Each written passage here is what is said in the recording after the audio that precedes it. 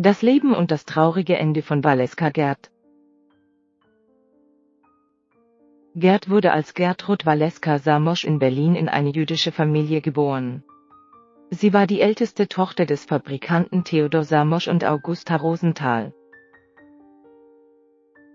Sie zeigte kein Interesse an Akademikern oder Büroarbeit und begann im Alter von neun Jahren, Tanzunterricht zu nehmen. Dies, kombiniert mit ihrer Liebe zur kunstvollen Mode, führte sie zu einer Karriere in der Tanz- und Performancekunst. 1915 studierte sie Schauspiel bei Maria Mossi und Tanz bei Rita Sachetto. Der Erste Weltkrieg wirkte sich negativ auf die Finanzen ihres Vaters aus und zwang sie, sich weit mehr auf sich selbst zu verlassen, als es andere bürgerliche Töchter normalerweise tun würden. Als der Erste Weltkrieg tobte, schloss sich Gerd einer Berliner Tanzgruppe an und schuf revolutionären Satiretanz. Nach Engagements am Deutschen Theater und der Tribüne in Berlin wurde Gerd eingeladen, in expressionistischen Stücken in dadaistischen Mixed-Media-Kunstnächten mitzuwirken. Bekannt wurde sie durch ihre Auftritte in Oskar Kokoschkas Heot 1918, Ernst Tollers Transformation 1919 und Frank Wedekins Franziska in den 1920er Jahren brachte Gerd eines ihrer provokativeren Werke mit dem Titel Pause zur Uraufführung. Zwischen den Rollen in den Berliner Kinos aufgeführt, sollte es auf Inaktivität, Stille, Gelassenheit und Stille inmitten all der Bewegung und des Chaos des modernen Lebens aufmerksam machen. Auch in den 1920er Jahren beinhalteten Gerds andere progressive Auftritte das Tanzen eines Verkehrsunfalls, Boxen oder Sterben. Sie war revolutionär und radikal und hörte nie auf, ihr Publikum gleichzeitig zu schockieren und zu faszinieren. Als sie 1922 in Berlin einen Orgasmus tanzte, rief das Publikum die Polizei. In dieser Zeit trat sie auch im Kabarett Schall und Rauch auf. Gerd startete eine Tournee ihrer eigenen Tänze mit Titeln wie Dance in Orange, Boxing, Zirkus, Japanese Groteske, Des und Wore. Außerdem verfasste sie Artikel für Zeitschriften wie die Weltbühne und die Berliner Tageszeitung. Bis 1923 konzentrierte sich Gerd mehr auf Filmschauspiel als auf Live-Auftritte und trat mit Endros Engelmann, Arnold Korff und anderen auf. Sie trat im GW Papstscheuler Street 1925, Tagebuch eines verlorenen Mädchens 1929 und die Drei-Groschen-Oper 1931. In den späten 1920er Jahren kehrte sie mit Stücken zurück, die Tontänze betonten und die Beziehung zwischen Bewegung und Klang erforschten. 1933 führte Gerds jüdisches Erbe zu einem Verbot der deutschen Bühnen. Ihr Exil aus Deutschland schickte sie für einige Zeit nach London, wo sie sowohl im Theater als auch im Film arbeitete. In London arbeitete sie an dem experimentellen Kurzfilm Pet and Pot, der lange Zeit ihr letzter Film war. In London heiratete sie in zweiter Ehe den englischen Schriftsteller Robin Hay Anderson.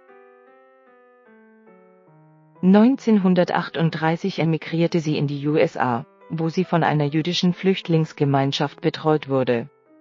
Sie fand Arbeit beim Geschirrspülen und posierte als Aktmodell.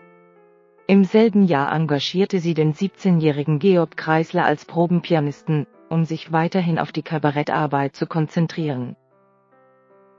1941 hatte sie die Beggar Bar in New York eröffnet. Es war ein Kabarettrestaurant, das mit nicht übereinstimmenden Möbeln gefüllt war. Julian Beck, Judith Malina und Jackson Pollock arbeiteten für sie.